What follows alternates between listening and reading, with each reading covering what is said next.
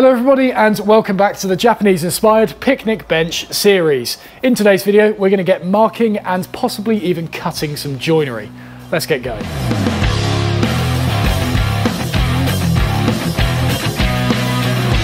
So I think with this picnic bench, I'm probably going to start from the bottom up. We're going to join the foot to the middle leg and the outside leg, and then we'll attempt to get that cross brace in afterwards. And the construction of this is going to be a mixture of bridle joints and mortise and tenon joints. And just so we're all on the same page, this is a bridle joint, this is a mortise and tenon joint, and if it allows, I might even do a through mortise and tenon with a nice feature like that on top as well. And if you want to learn how to cut any of these joints with maximum strength with zero gaps, I've got tutorials for all of these plus many others on my free online woodworking school. There's a link to it in the description. No sign up required. It's literally a website. You go there, you learn, done.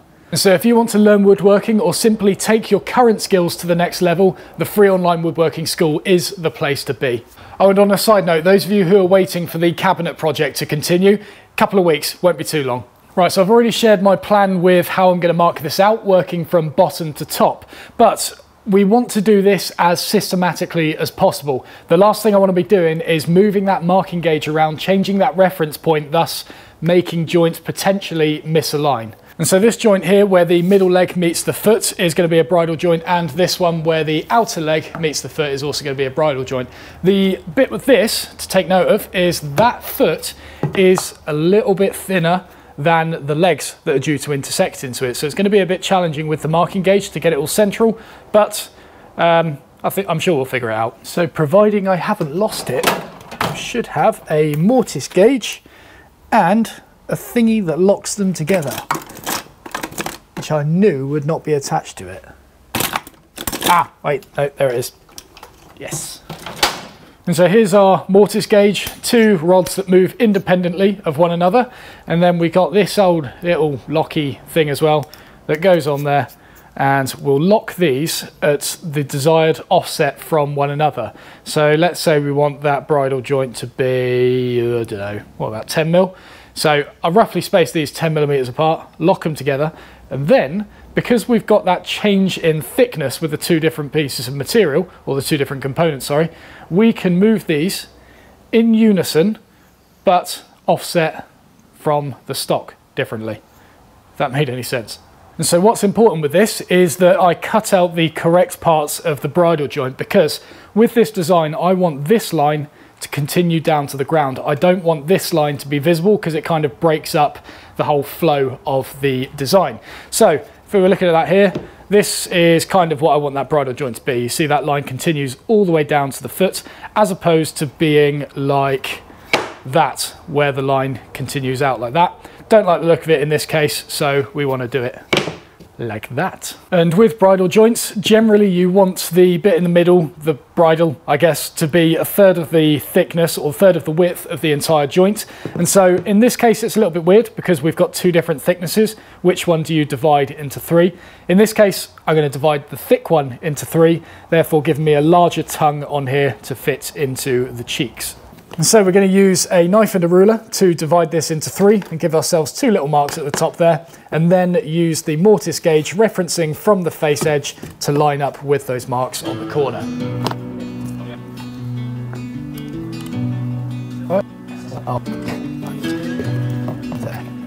So for each of these components, let's get them all here ready to go so I don't miss any of them. Them all lined up systematically, get a foot, and then I'm gonna mark some like boundary lines on here just so I don't scratch that bridle joint all the way up the side of the leg. I know exactly where it needs to start and stop by having a simple line there where the foot is going to end. Okay, and then the next one we'll do is scratch this line on them by simply lining it up with the rod. And like, I can I can do this by eye at this point. This is only a rough mark. So just across like that looks about right, boom. And then I know it doesn't line up properly with the rod, but it's only rough.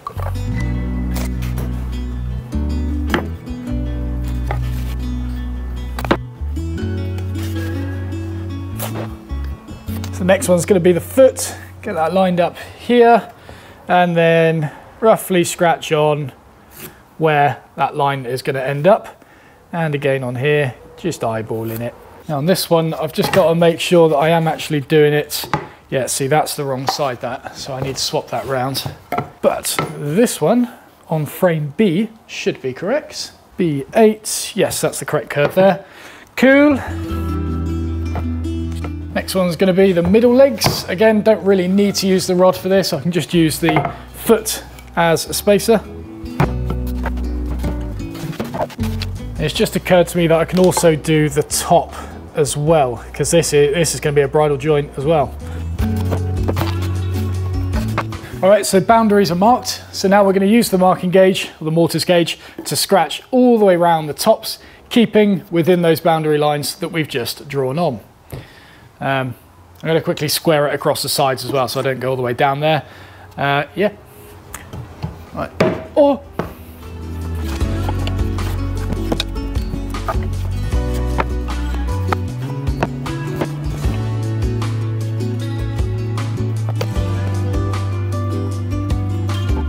Right, now we'll convert this pencil line into a proper defined knife line. I could have technically done this at the start instead of doing a pencil line, but pencil's much easier to remove than a knife in case I got it wrong. So I'd rather just do it in a pencil first, get all the bridle joints scratched out and then refine those shoulders afterwards, just in case I got it wrong.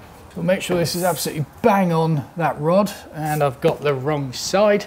Let's not do that one, let's do this one get that lined up. Okay, curves looking good. Lovely. And then without letting this move, find where that line scratched on the rod intersects with this. Do a mark there. God, this stuff's so soft. And a little one here. And let's do one at the top while we're here as well. And get the knife in that mark, square it down the side.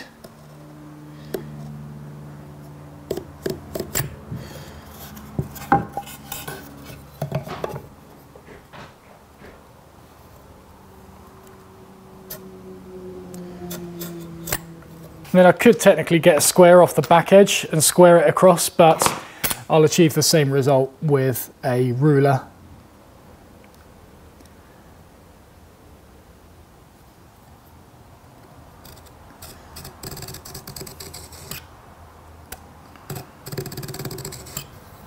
obviously when I'm doing this, I'm getting the knife in one mark, lining it up with the knife line on the other side, and then scribing it across.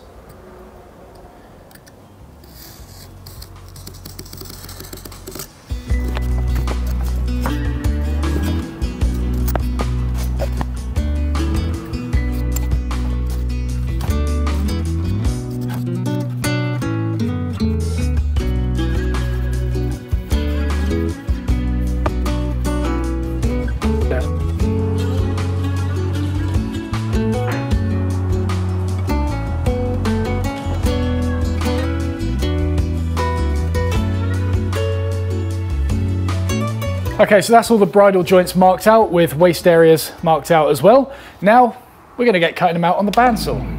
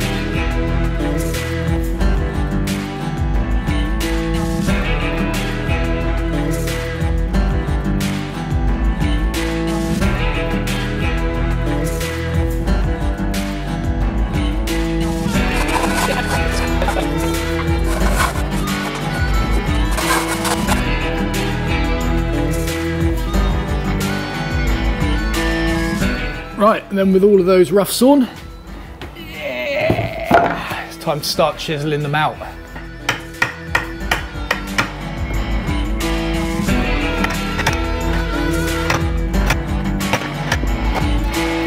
Right, I think I've just found my new least favourite wood to chisel.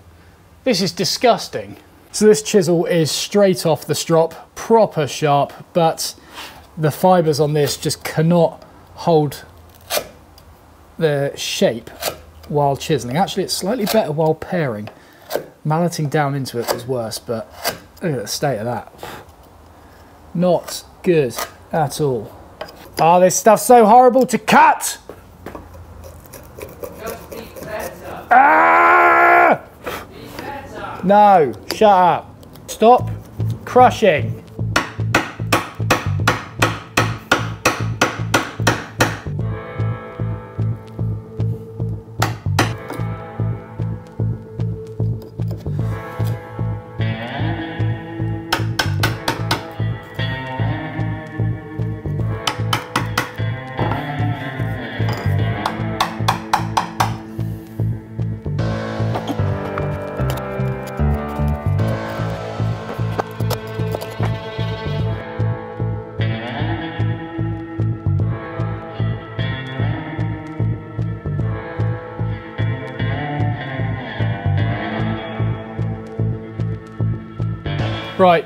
Consider this my resignation from ever working with cedar again.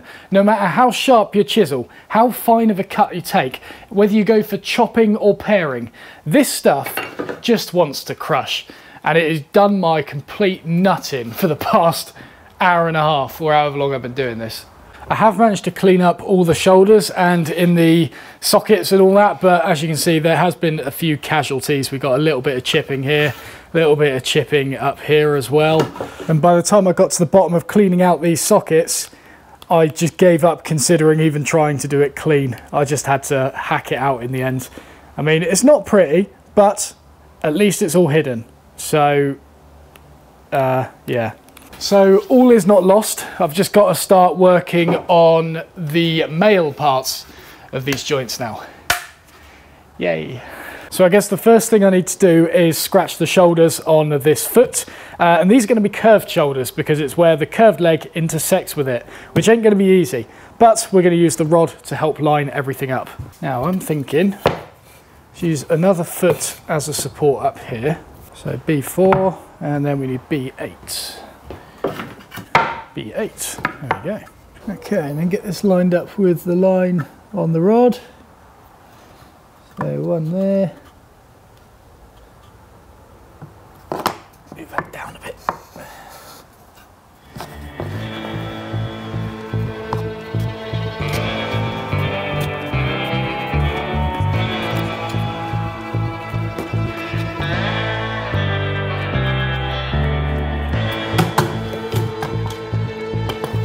Right, then with these knife lines, we'll square them round the sides.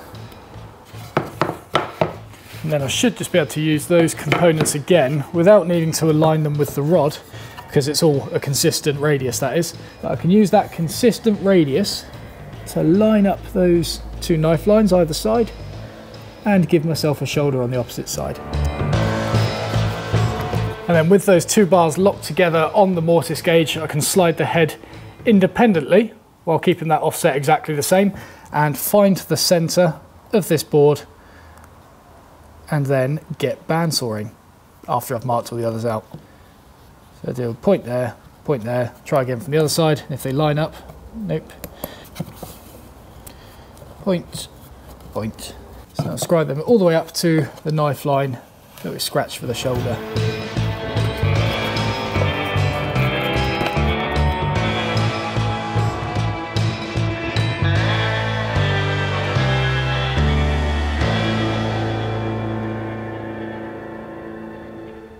Right, so now it's time to start cutting out these male parts of the bridle joint. Now with this, I plan to set up the fence with the desired offset, So, something like, let's say it's that. And obviously when I cut through this, this will be absolutely fine, but when I flip this round the other way, you can see by the time I reach the line on the top here, I'm going to be cutting beyond the line on the other side.